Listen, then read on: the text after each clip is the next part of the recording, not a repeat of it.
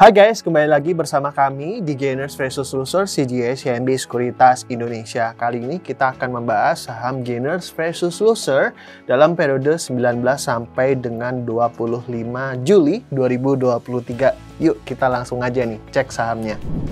Nah, kita mulai dari top gainers ya di periode 19 sampai dengan 25 Juli 2023 ini ada saham Aman atau uh, dengan kode tiket AMMN. Nah, Aman Mineral Internasional ini mengalami kenaikan sebesar 27,78% ya ke level psikologis 2300 di harga closing pada 25 Juli 2023. Kita lihat memang terjadi kenaikan yang cukup luar biasa nih teman-teman ya. Dan kalau kita tanya apa sih katalisnya? Nah, katalis yang terbaru, Aman ini baru saja mendapatkan izin ekspor konsentrat tembaga atau copper concentrate melalui anak perusahaannya. Ini Aman Mineral Nusa Tenggara ya di mana izin ekspor copper concentrate ini sebesar 900.000 WMT ini berlaku mulai 24 Juli 2023 hingga 31 Mei 2024. Nah, selanjutnya berdasarkan progres pembangunan smelter tersebut ya, ini sebesar 58,5 persen Aman ini akan dikenakan ekspor duty sebesar uh, eh, 10% dan tentunya Aman ini berencana untuk menyelesaikan smelter tersebut hingga akhir Mei 2023. Nah, kalau kita beralih ke chartnya, kita lihat memang Eh, kenaikan ini udah lumayan cukup uh, signifikan ya. Dan kalau ditanya next uh, setelah sudah sampai di 2300, nextnya akan ke mana nih?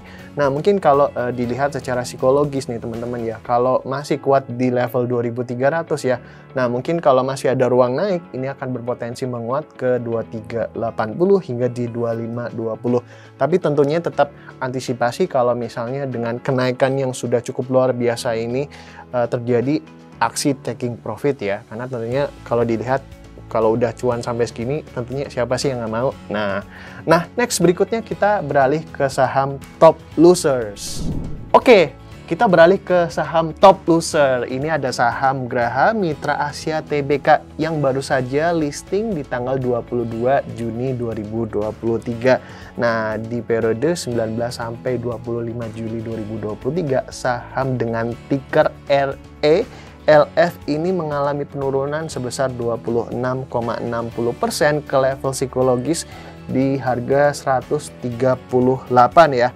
Nah, di mana ketika IPO ini saham RLF ini meraup dana sebesar 104,15 miliar dan sekarang realisasinya sudah terpakai semua ya untuk ekspansi dengan pelunasan pembelian tanah RRI dan pelunasan tanah AMS.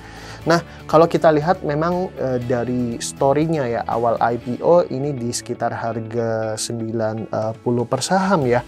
Dan e, kita lihat pergerakannya ya ini udah melesat e, cukup luar biasa nih teman-teman ya. Nah, kalau mungkin kita lihat dari paling topnya nih, paling pucuknya ini sempat menyentuh level 242 ya, itu di sekitar bulan uh, pertengahan bulan Juli ya. Nah, tentunya memang ketika naiknya udah cukup tinggi ya. Nah, terjadi rejection ya teman-teman ya. Akhirnya menyebabkan saham RELF ya melandai sampai seminggu terakhir ya.